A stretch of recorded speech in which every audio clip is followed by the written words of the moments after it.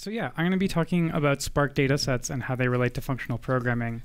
Um, and this talk is probably actually going to be a little bit sad, despite the title, um, because it turns out that while we can keep the fun in Spark and functional programming, there's a lot of work that we maybe forgot to do that we should do to catch up.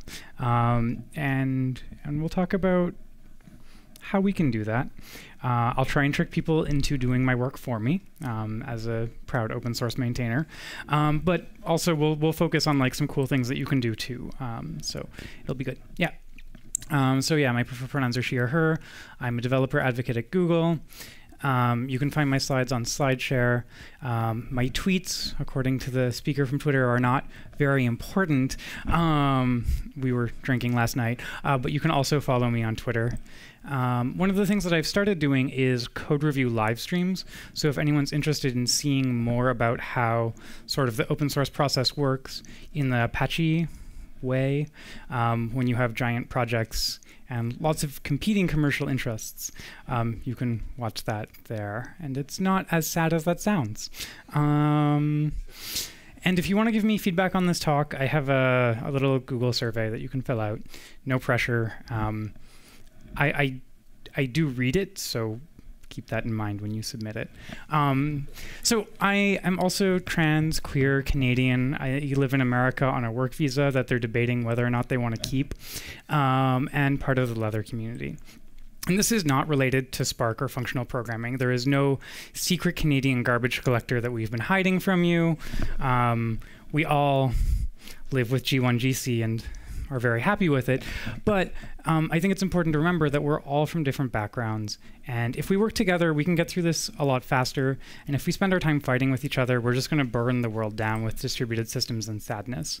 And so we should, you know, be respectful of our colleagues regardless of where they're from and life will get better. Um, but not immediately. Okay, uh, so this is Boo. Uh, she also uses she, her pronouns. She is the author of Learning to Bark and High Performance Barking. It's currently out of print. Um, there's been some supply issues because they're done in pen, and uh, she does not have opposable thumbs. Um, so we're working on that, uh, and you can definitely follow her on Twitter as well. Uh, she is not a Scala programmer yet working on that. So um, I, I feel I might as well mention why my employer cares about Spark since they pay me money. Um, and we have two hosted services that you can run Spark on top of, one with support and one um, for more adventurous people. Um, so we have Cloud Dataproc and we have Google Kubernetes Engine. I'm pretty sure that's the name of it. Um, and you can deploy Spark on top of that. And if anyone wants to help me but isn't willing to write my software for me, and you are using Spark, how many people are using Spark here, by the way? Yay! If you want to keep us from breaking your pipelines, you can try out the new release candidate and tell us if there's any regressions, because otherwise you find out after we broke your software. And if you tell us first, then we might not break it. We might still break it because we're lazy, but there's a good chance that we'll fix whatever bug we introduce that affects you. Um, so I'm hoping you're all friendly people. It does look like there are a lot of Spark users in the house. Is there anyone new to the Scala community? Like this is their first Scala conference, their first time using Scala. Yay! Welcome, new friends. Thank you for coming to the Scala community. Um, we're relatively friendly, um, and uh, I'm I'm happy to have you. I'm always happy to see more people here. Uh, and yeah, so that's pretty cool. Oh, right. If you really don't like pictures of cats, there are many other talks available to you. Um, this is not the one for you. So um, I'm going to talk about what Spark is for the people who don't know Spark, just super briefly. I'll mention why I think it's helped drive functional programming into the enterprise. We'll talk about what Spark's new APIs mean, how we can still do functional programming with them, but how it's maybe not going to be as much of an on ramp as we used to see um, which is a little sad. Um, we'll talk about some of the cool things that I can do with data sets, which are really awesome, that were like way too much work to do like on RDDs. So if you have some problems that you've been like putting off solving because they were super gnarly, um, this will hopefully help you. And uh, I forgot to mention we were going to look at some machine learning in here, um, just for good measure. There's no deep learning, so San Francisco people, I'm sorry. Um, but I'm in Europe, so I figured maybe you wanted software that worked. Um, and we'll talk about how we can make this more awesome for the people who come after us and, and make sure they still learn functional programming and they aren't seduced by the dark side of SQL. Um, because I don't, I want more functional programming nerds to hang out with. Uh, that's the long and the short of it. So Spark is a general purpose distributed system for parallel data processing. It's an Apache project. And if it's a much faster than Hadoop MapReduce, uh, Hadoop MapReduce set the bar down at about where my heel is. Um, very nice of MapReduce. Uh, really great innovator. Um, but not fast at all. So that's great. I love it when I have really low bars to achieve success. Um, and it's good for when our problems get too big for a single machine. And has two core abstractions one of them is really functional, and the other one is a little less functional, but we can we can still work with it and have fun. Um, so for the people who aren't currently using Spark, um, maybe you'll go run a MapReduce job or a Hive job. It'll take 16 hours, and while it's running, you can just learn Spark. The book is not that big, and um, it does Adderall is available by prescription here. Talk to your doctor. Tell them you want to learn a new programming uh, tool. Um, the other reason that people come to Spark, and this is normally for people who are in the Python world, is they have a data frame, they try and load it in memory, uh, it runs out of memory, and then they think the solution to that is distributed systems. Later on, they are depressed, but at that point, we've already converted them to functional programming, so it's fine. Um, and a little bit of magic. Yay, magic. Um, so what is the magic of Spark? So for me, the first time I saw Spark, I was like, oh hey, this actually does the things that people told me we we could do with functional systems that I haven't seen people bothering to do, right? Like I can take advantage of the fact that my data is immutable and Spark enforces it and requires it and then takes advantage of the fact that the data is immutable to parallelize the work. Um, it has some really cool optimizer. Um, it, it, actually has three different optimizers depending on which mode, but it's not super important. Um, and it takes a different approach to resiliency. Um, and so it recovers from failures rather than protecting from failures. And in the MapReduce world, we save things out to three different computers, and we assume we won't have three computers fail at the same time which that works out pretty well. In the Spark world, we say everything is made of Cheetos. Um, and sometimes our Cheetos will blow away, but it's okay. I can just buy more Cheetos. Um, hmm, that maybe the Cheeto based analogy. Do you have Cheetos here? Okay. I don't know why it wasn't working then. Um, but essentially, uh, Spark just says, hey, I'll keep track of all of the work you've asked me to do. If I lose some of it, I'll just recompute it and it'll be fine. And I think it's the best way to trick people into learning functional programming because you don't have to tell them that's what they're doing. You can go to them and you can be like, do you want to learn distributed systems and do cool machine learning problems? And people are like, that sounds like fun. And then we're like, here, have a Lambda. And they're like, hmm, okay I'll, I'll roll with that. Um, right. And so Spark is not just like one monolithic well it is one giant monolithic project and it has so many different things inside of it. We have two separate graph algorithms that do not work. Um, we have two separate machine learning libraries. Uh, this one's deprecated and that one's new and doesn't quite work. Um, we have two separate streaming systems. Uh, this one's deprecated and I never really worked. And this one has two different execution engines, neither of which do exactly what you want, but you can pick the trade offs that are closest to what you're willing to accept and pretend that it works. Yay! okay, or not. Um, and obviously, probably most of the people here are going to work with Spark and Scala, but I think one of the nice things about it is if you're working with data scientists or other people in your organization, you may not be able to immediately convince them to learn Scala, but you can convince them to learn Spark with Python because you can be like, no, no, it has a Python API, and that's technically true. Um, but the Python API teaches them functional programming concepts, and then later you can come back and be like, well, yeah, your code is kind of slower than mine. Here, let me show you how to rewrite it into Scala. It stays pretty much the same. And they're like, oh, well, that's, that seems like a win. Um, I don't mention this part at the Python conferences I speak at. Um, and so if anyone's watching the recording, I'm sorry. Uh, whatever. Okay, so Spark got some cool things right for making functional programming fun for distributed systems. Um, it sort of strongly enforces immutable data. You can break it, but then your program doesn't work. Um, it has functional operators on its distributed collections, and it has lambdas for everyone, not just Scala people. We very strongly encourage Python people. They have lambdas, and all of our examples show them how to use this. Um, it solved a business need. There are lots of cool functional programming frameworks which have existed before Spark but many of them didn't solve a need that businesses thought they have. Um, and Spark solved a business need, whether it's real or imaginary, that lots of businesses thought they had. They think they have big data, even if their data fits on a floppy disk. They have big data and they need a cluster. And so they can run Spark on their cluster. And regardless of whether or not this business need was real, they, they think they want it, and so that's important. Um, and the, the last one is it, it makes it really hard. So I don't get me wrong, I still write code with vars. I'm not a good person. But Spark makes it hard to use vars as like global state or, or things which are really bad. It makes it challenging to do things that are bad. Not impossible, because sometimes we all have to peel back the curtain and murder the person typing on the machine um, to get what we want done. But it strongly discourages them and makes them really awkward, um, which is which is good.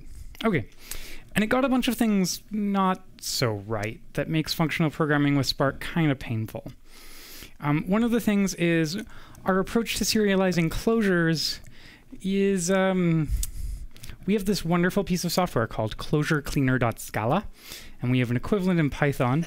And in R, I haven't looked because I'm terrified. Um, but essentially, we take the Java serialized closure and then just start deleting things from it. Um, and it's faster most of the time, but occasionally not so faster. Um, and occasionally wrong. And then people think that closures have limitations, which they don't really have. They only have limitations because we're doing some crazy things to make their software go fast, right? That if they were using closures in another context, would be totally fine, right? Like referencing things in your outer class totally fine to do in a normal closure. Doing that in a Spark closure makes your life really sad. Um, and sometimes people can get these things confused because to them, Spark and Scala can be hard to separate. Um, another one is we, oh, right, we like strings everywhere for settings, right? Everyone loves setting strings, right? It's the best way to convey integer information is inside of a string. And Spark's configuration definitely embraced that philosophy.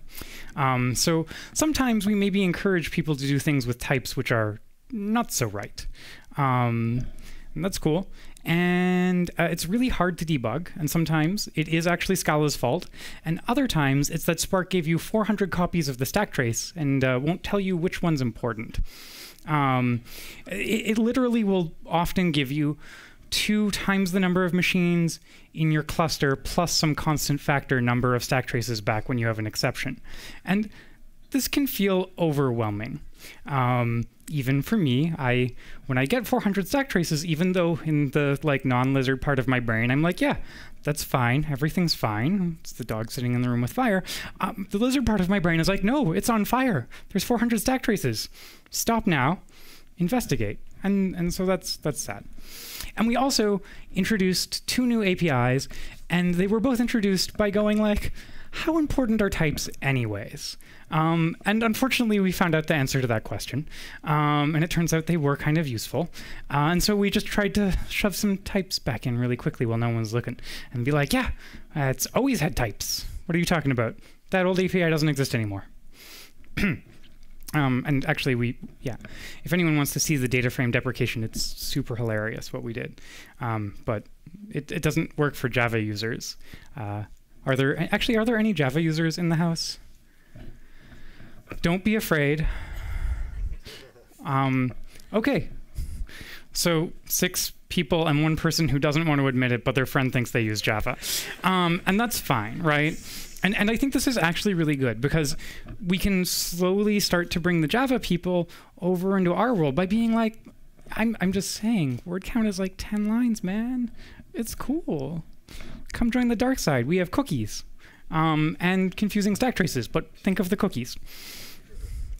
Okay, so uh, what are the new APIs? So we have a streaming system with three different engines, keeps it super exciting, really hard to debug because no one really understands all of them. So uh, when it doesn't work, you try switching the engine, and now you have a whole new stack trace. Yay! Okay, no excitement. Um, we introduced this thing called data frames where we were like, types, types are for suckers. You know what everyone loves? Runtime schema evaluation. And then, then no one loved that except the Python people. But even they were like, uh, I have some feelings. And we were like, well, no. Um, and a new machine learning API because obviously machine learning jobs don't take very long to run. It's totally okay to do no type checking in your machine learning API and assume all of the fields requested are present and fail at the very end of a 24 hour model training job. It was a great decision. Okay. Um, sarcasm, too. Um, sorry. Uh, okay, so data frames, what did we do? Uh, we were like, everything is a row. That's great. It was not so great. Um, and we actually we, we made sad decisions. We made everything SQL inspired. And are there SQL people in the house who really like SQL? Okay, four people will really love the data frame v1 API. It it feels like you're writing SQL in Scala. Yay! But without type checking. It's not like the fancy SQL. Like it's just like regular sad SQL. Um, or not sad. Nah, fuck. That didn't get better. Um, okay, uh, we realized that we should add some functional operators to it. Um, and we did, sort of, but one of the things which we didn't do was add them in a way that's easy for people in other languages to use. Um, and so we can't use them as easily to convert the Python people to the dark side with cookies. Um, so they're like, no, it's fine. I know SQL. And then I'm like, oh, but but I have cookies for you. And they they walk away. Um, anyways, yeah. But they have some cool things about them. They're a lot faster, and they have the potential to allow us to interoperate with other languages better. And this is really cool if your desire to rewrite your coworker's Python code into Scala is about zero. Um, you can you can use their chunk of like really complex numeric computing inside of Scala, um, and that's kind of neat. And I have a graph, which you should all believe and trust as a vendor. Because vendors never lie. Um, so we can see here, we have two RDD operations. Um, this is computing, I think, some average information over some arbitrary data set. And um, we can see that the data frame one takes much less time, and that's good. Yay, faster faster is better. The only sadness is I had to give up functional programming. So I sold my soul for like uh, maybe five minutes. Um, and that's like not that's not a trade-off that I would make, but unfortunately it's a trade-off that a lot of other people have made. And I want to steal them back to my side. And yeah, our storage is a lot more efficient. It turns out when you're competing against Java serialization, once again, it's like competing with MapReduce, not that hard. Um, but we have a nice graph, which is like, yeah, 50% more efficient. Jazz hands. Okay, um, whatever. And there are other things that we could use, and the comparison then becomes a lot less impressive. It's true, but it is still like 5 to 10% more impressive. So, how do we use these things to do terrible SQL stuff, but still do cool functional code, right?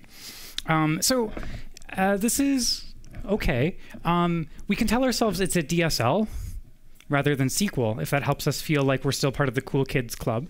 Um, so we have this triple equals operator.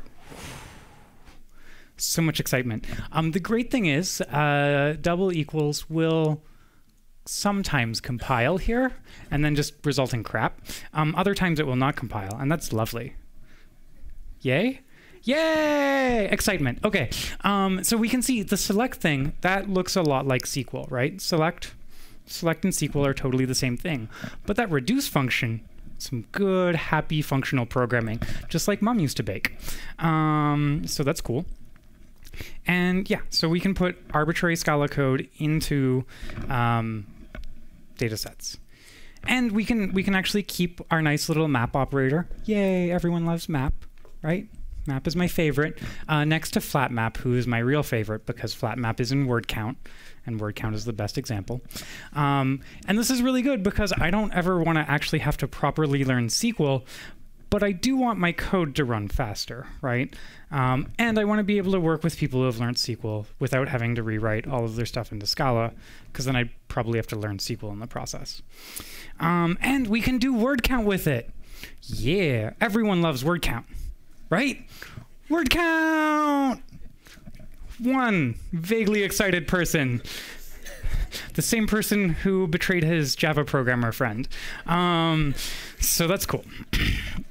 but uh, this is loads some arbitrary data, selects a text field out of it, tells Spark the type, um, and this this part's a little sad. Like we have to ex explicitly specify our type once we've loaded our data, um, but that can be pretty much any case class. Um, it's just because we have a string, we don't we don't have to define a case class of the word string. That would be kind of redundant. And then we can still have our fun flat map. The only problem is when I get to this group by operator, I lose all of my type information. Yay! Types are for suckers anyways. But um, the cool thing about this is that group by in Spark is terrible. Um, how many people have called group by key on RDDs? Okay, keep your hand up if it worked. Um, one person had it work. Yeah? Kinda? Okay. So group by key is not always breaking your code, but when you encounter big data, group by key will probably break your code. And you're probably using Spark because of big data. Um, and now, if you have high cardinality information and your, your groups don't actually have that much intersection, group by key is fine.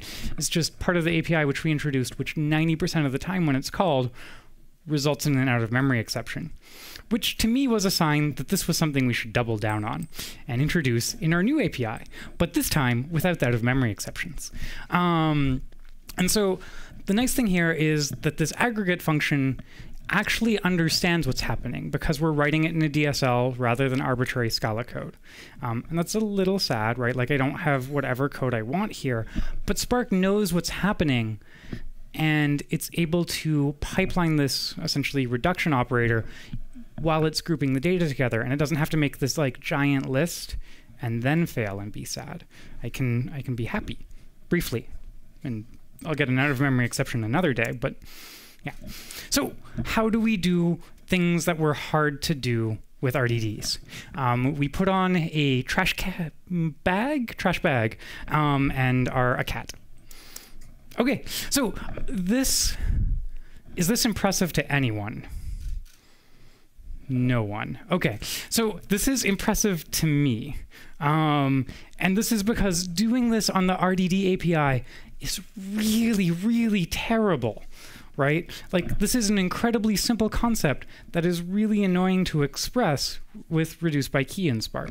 And so it's kind of cool. I can have my functional programming, and then when I want to compute a bunch of things that are, are comparatively actually simple, but really annoying to express, because I have to keep track of like x1, x2, x3, or make like a weird case class to keep track of all of these different things, I can just let the computer do that for me. Yay! So th this is this is the kind of thing which is impressive to the people that wrote it. Um, so it's cool, trust me. The other thing is windowed operations. So um, essentially trying to look at uh, some of our data over you know, plus minus k or j, right? So I want to look at some number of records before, some number of records after. I can have some type of sorting order. This is also really annoying to do in Spark and distributed systems in general. Window operations kind of suck. They're super easy to do on one computer, but they're really frustrating to do here. And so, yeah, okay, so we can see it goes, the window shifts down. I probably should have put some results in there, but just pretend that I was less lazy and filled in the second half of this slide. Um, and so this is what our window spec can look like. We can say, I'm interested in knowing um, the capital gains tax in America for people 10 years younger than me, 10 years older with some average, mostly because I want to see like how many more stock options I should be asking my boss for. Um, and I I want to know an average because you know people my age might not be completely representative.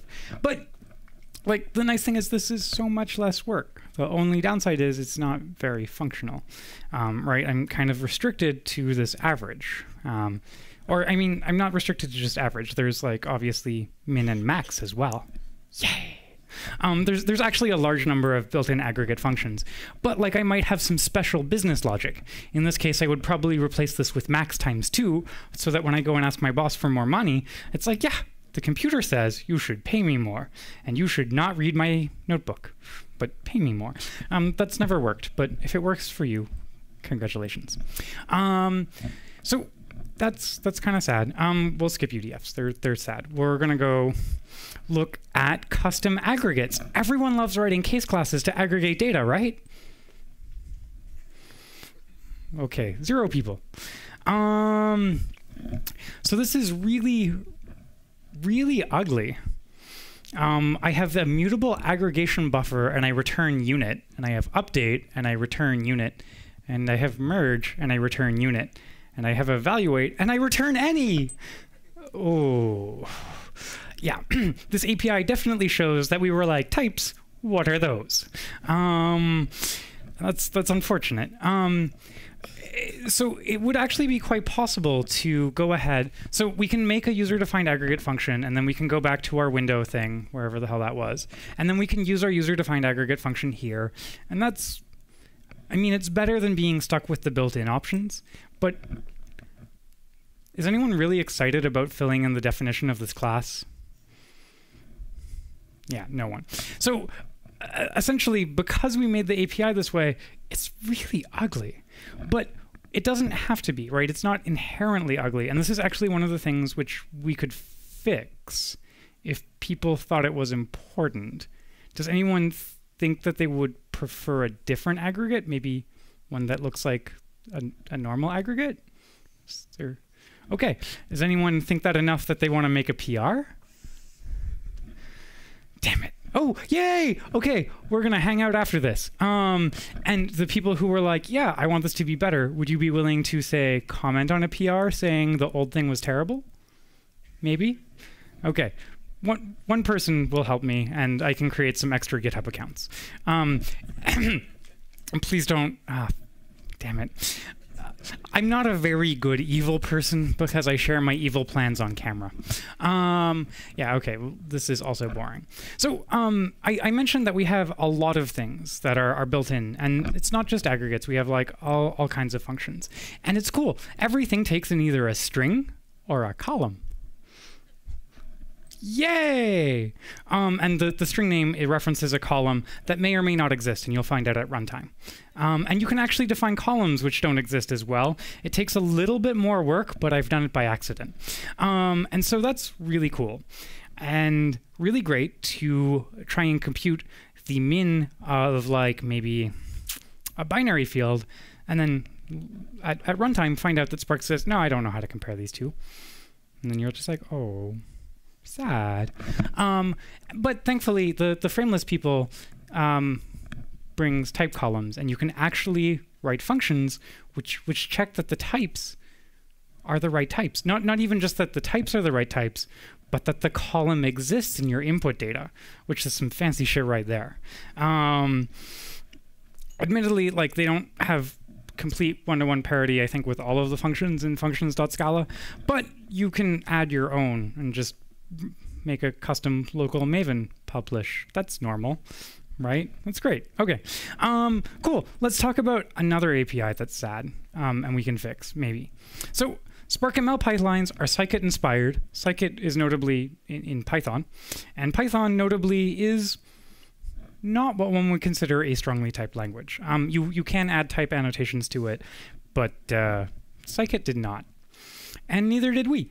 Um, And instead, what we did is we said, I love runtime schema checking. What I'll do is when you ask me to train on some data, I'll see if that data looks kind of like what I expected based on the programmer remembering to write a function called validate. Um, and that works at least some of the time. Um, the only problem is when it doesn't, um, machine learning jobs often take more compute resources than I'm worth, um, right? Especially if I don't own the computers outright, right? Like running this on a bunch of GPUs gets really expensive. And so having this fail for like silly type errors is really frustrating. Once again, frameless to the rescue, blah, blah, blah. Um, but yeah, we can, we can see, ooh, strings. We don't even take columns here. So we don't, we have no idea if this data exists or not. Um, and it's great. And then I make this pipeline which concatenates two things into a vector and turns a category into a category index. Um, and that's essentially just because we can't actually handle strings. Um, so we have to turn them into integers for you behind your back. It's okay. Um, actually, not integers, floating points. Um,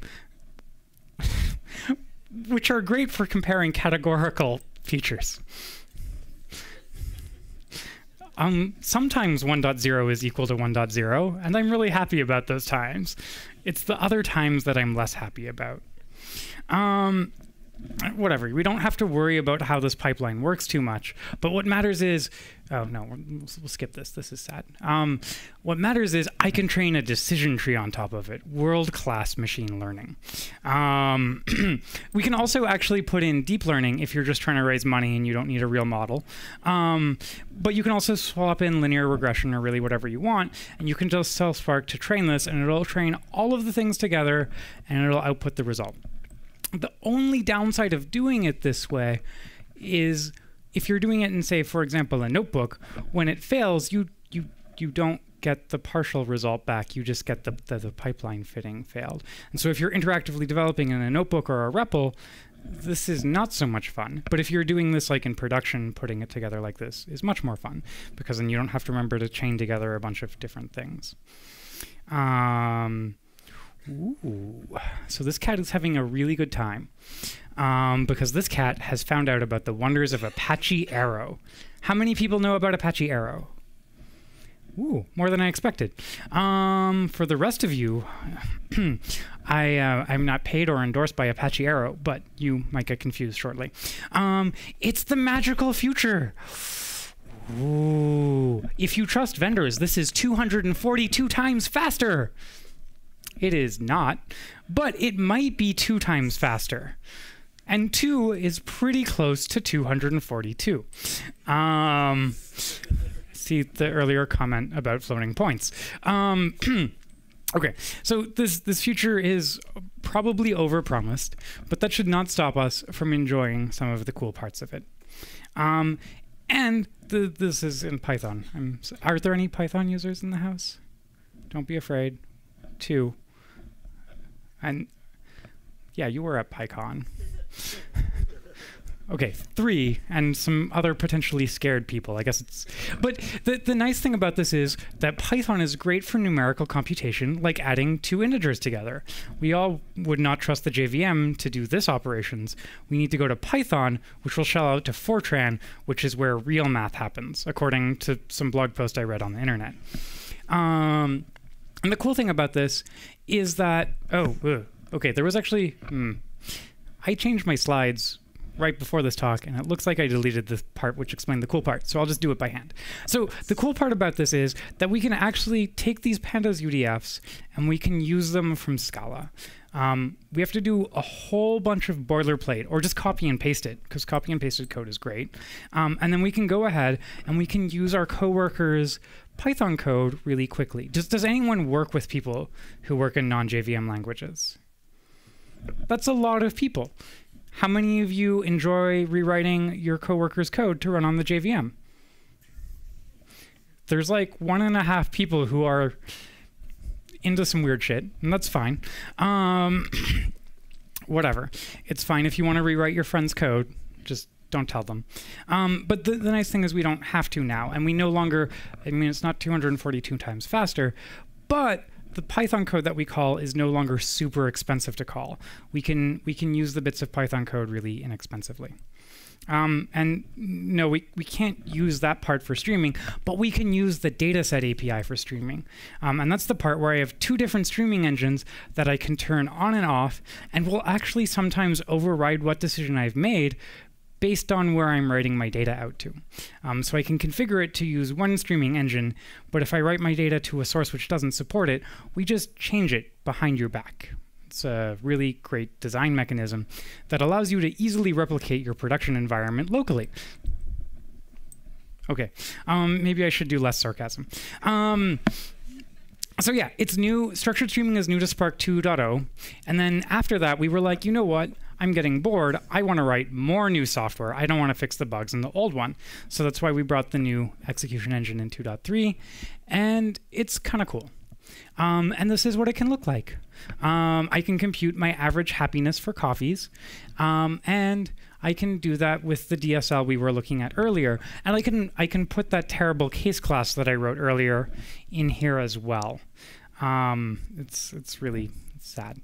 Um, we can, mm, sorry, we can also use map. However, there's a bunch of random functionality inside of the dataset functional API, which will compile but not work at runtime on the dataset streaming API. So if you use this, you need really good tests. Otherwise, you'll be really sad. Okay. Um, and I want to leave us all on a sad note um, because happiness is overrated. And admittedly, I float between Python and Scala, so I will probably still have a job, I hope, knock on mm, eh, whatever, mate. Um, eh, but one of the things which is which is kind of scary about this slide, which implies it's 242 times faster, is that the Python users who we used to be able to go to and be like, it's time to rewrite your code to be production ready. Let's let's put this in Scala. Are just going to be like, nah, it's fine. It's good enough in Python, and that's that's cool. But then we're losing this new source of people that we can bring into our community to keep it like happy and alive. And instead, the Python community can like steal them. Um, I mean, it's okay either way. I get paid, but I like functional programming and I like types, so I want them to come to our community instead. Um, because otherwise, I have to write a lot of code without any types, and I'm just going to be really sad.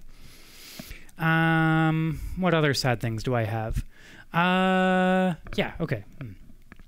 So, uh, what are what are the main takeaways? So the main takeaways are, yeah, we we do have functional APIs, sort of, in uh, data sets. Um, we added them after the fact, and it shows when you try and do anything beyond a map, right? Once, even if we try and do a simple aggregate, we end up getting delightful things like any and mutable row option, which are super clear. Um, and just so it's clear, rows can contain an arbitrary number of fields, all of which can be of almost but not quite any type. Um, and no, we don't know until we access it. It's great. Um, but don't worry, we can still sell enterprise support contracts and training to banks because datasets work better in Scala for now, and we can we can write our functional programming against them. We just really have to hope that they're not looking too closely, um, or we have to convince them to use frameless, which that's an option too. Um, SparkML uses data frames, which is the even more untyped precursor to datasets. Um, and that's like data frames, which are essentially never allowed to contain type information. Yeah, oh, sorry, data frames are data sets with explicitly no type information. So um, enter there, all hope is lost. But unfortunately, how many people's company is like excited about or investigating or working with machine learning? That's a lot of people, right? And that's kind of sad that if we want to do this cool stuff, for now, we, we have to give up a lot of our cool toys. Um, and uh, yeah, you you can. Uh, is there anyone from San Francisco trying to raise a Series A for their startup? Okay, yeah, we don't have to cover deep learning. Great. Um, yeah, Cool. Oh, we're getting this is the second most important slide, and the most important slide will be coming up soon. Um, here is a collection of books about Spark. Um, here is the book where I make the most money. It is also about Spark. Um, it is largely focused on functional programming as well. Um, it's it's written in Scala um, because it predates the part where you could write fast Python code for Spark. Um, also because I like Scala more. Um, no. Mm.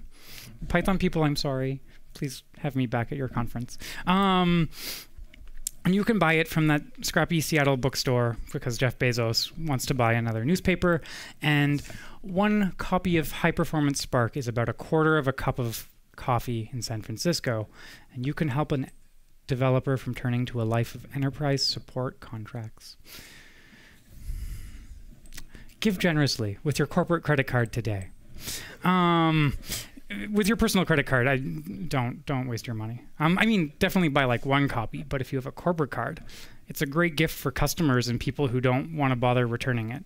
Um, cool. Uh, I will be at the closing panel right after this. If anyone wants an excuse to go to London and get rained on, um, I will be there next week, and I will also be in Spain. If anyone wants an excuse to go to a place with a beach. I, is there a beach in Berlin? I don't think so. Oh, there is. Is it nice? Oh, yeah. Okay. If anyone wants to go to a possibly nicer beach, um, you can join me at J on the Beach.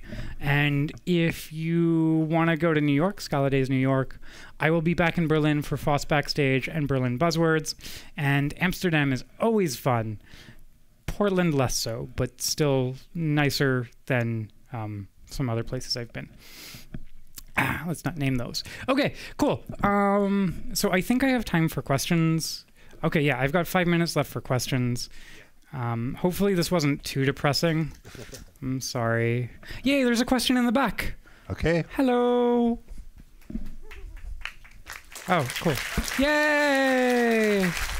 Ooh, I should take a picture of the room. I should have taken a picture of the room in the middle before people started leaving. But I'll take a picture of the room now before everyone leaves so that it looks like I do good work. If you ever talk to my boss at Google, I am amazing. And um, the word is strongly exceed expectations. Um, that's that's what they want to hear in the review. Uh, do you do you have the microphone? Yeah, yeah, I have. Uh, thanks for the talk, first of all. And uh, is there any still uh, practical use of RDD? It looks like data frame is a clear winner. Yeah, uh, so that's a great question. And the answer is uh, sort of. Um, data sets are often better. Um, part of that comes from having a really cool optimizer. One of the downsides of having a really cool optimizer is sometimes it goes on an adventure. Um, and this adventure takes longer than your actual job. Um, and so we have this really awesome optimizer that occasionally takes longer than your work. And so if you've got stuff like that, um, totally RDDs are better. Um, actually, one of the main cases where RDDs make more sense, uh, despite us building our new machine learning API on top of data sets, um, is for machine learning because uh, data sets don't handle iterative algorithms very well. And most of machine learning is uh, iterative algorithms. So we did a really good job with the design decision there. Um, and there's an open Jira to fix that issue, and it's been open for a few years.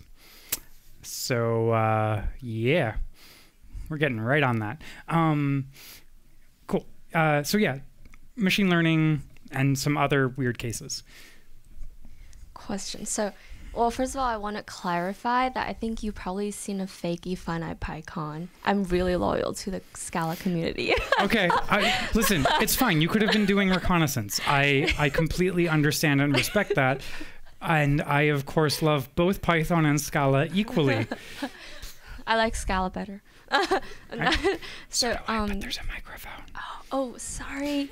Um, so my question is, um, Spark also offers um, nice um, functions for you to do machine learning. So Yeah. when do you recommend a user to use Spark for machine learning? When do you recommend them to use TensorFlow or other tools for machine Ooh. learning? That's awkward because my employer um, is a glorious employer who can do no wrong, but is occasionally confusing.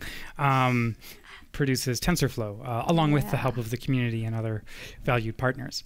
Um, so, so my, my Sorry.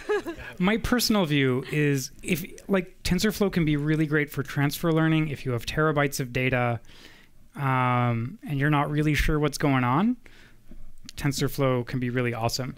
I think for most machine learning use cases, transfer learning is perhaps a bit oversold. Like um, if I'm if I'm doing image recognition and I'm looking for dogs and I have a thing that can find cats, okay. If I'm trying to go from a thing that can find cats to fraud, eh, maybe not so good. Um, and so I, I think TensorFlow for now is is a very specific use case, and SparkML is um, whenever you have too much data to fit on a single machine and you want to do some cool machine learning with it, that is not deep learning. Although the Spark ML people will be happy to sell you a deep learning solution um, from one of their valued partners. Thank you. I, I'm not one of the valued partners though, so like I don't want to. Sorry. Okay, uh, I come here to learn a bit about Spark. So I heard a lot of things which are not good in Spark. So my conclusion is, if you want to do cool stuff, don't do it with Spark. It's just the message. That's that's my takeaway today. So I'm so sorry. I'm confused. So what it is? Should I use Spark Yes, or not? Obviously. Or, should I go to Flink? Oh no no no. Okay, so I want to be clear. Like these are things which are hard in Spark, but don't worry, everything is terrible. No, I uh, like I'm serious. Like everything sucks. If you go and find like some hardcore Flink users and you sit down with them and you're like, "What is rough?" They will not shut up. I mean, neither will I for Spark, right? Like there th- these are these are rough points, right? And we we can fix some of them together, hopefully. I'm Oh wait, yes. Okay, there, there. You're gonna write that PR, and it's gonna be amazing. Um, and the other parts we can avoid, right? Like if you need to do some cool functional programming, for now you can use the RDD API, and yeah, it'll be a little slower, but that's all right. I'm a cloud provider. Just buy more computers. I have a bank. We can we can borrow the money. That's great. I love banks. Your your credit cards very rarely have chargebacks. Please buy more. So thank you very much. I'm oh. afraid we have to close it now, so you Oh. Okay. can get to the panel. Yeah, I'm I'll- I'll sorry be at for the that. panel. So yeah, you will be at the panel, but you n- need some time to get over there and Well, yeah, I have to change get out of these relaxed. sparkle heels. Yeah. Thank you very much. It was oh, a great talk.